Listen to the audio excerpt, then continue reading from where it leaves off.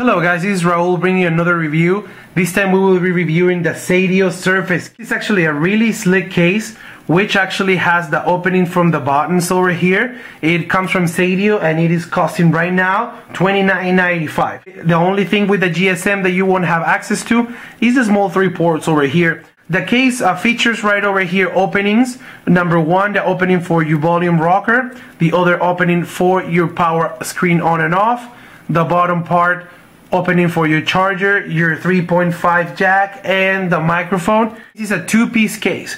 Now, on two-piece cases, you need to be careful with the tabs. If you're a modder, if you are a ROM junkie, if you like doing stuff like that with your phone, two pieces are usually not as great for you because you will need to keep opening the case back and forth. And if you keep doing that, you can ruin the case and the small tabs on it. This is a whole matte case.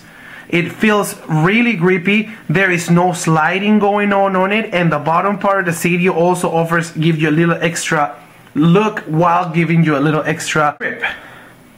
Now, uh, some grease can get over here in the back, however, pretty easy to take it out. This case adds barely none bulk to it and the cutouts do great. They're not using the plastic on top of it, so I really like that because you have direct access to the phone. So the Surface case over here, it's compatible also with the Convert combo. So if you already have this case and you want extra safety, you can go ahead and order the Convert, which is an additional, two additional layers for the case. The back part, as you can see, the camera is really flush into it and it, and it looks really in. As you can see, the bump is minimal on the back. That means that the extended battery can fit behind it. I tried to take this case out a couple times with my credit card.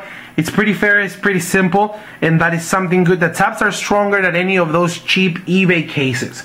So that means even though you're removing the case in and out, it, it definitely will last longer. But again, I don't recommend people that do a lot of modding, a lot of ROM uh, playing with because there's sometimes it freezes or sometimes something happens and you need to remove the case so you don't want to ruin it. However, if you are just a solid normal user, this case is definitely good when you have it in your hands. It's really thin, it's really slick, and it is grippy. There's also a surface holster, so I don't have that with me guys, but it pretty much works as in my other cases. This is the combo holster. It looks exactly like this with the nice finish inside, the system this new system that Seidio is doing and the seven the seven positions clip.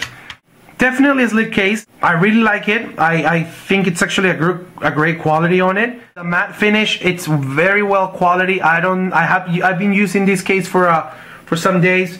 And one of the things that I see is uh, by this time on some other brand that I, I was reviewing you could already see right over here peeling. Not on the Seidio. The Seidio quality of the matte matte cover it's actually pretty good. So I believe that it will stay there.